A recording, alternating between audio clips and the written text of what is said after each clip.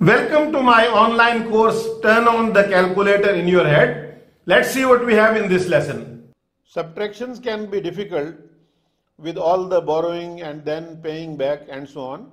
But this method makes such calculations very easy. And it's similar to the method we used in the last lesson. For example, 55 minus 19, we notice that 19 is 1 below 20. So we take 20 from 55 to get 35 and add back 1. So 55 minus 19 is equal to 36. And 61 minus 38 is equal to 23 because we take away 40 from 61 to get 21 and add 2 back. And remember that we can always check a subtraction answer by adding it to the number subtracted.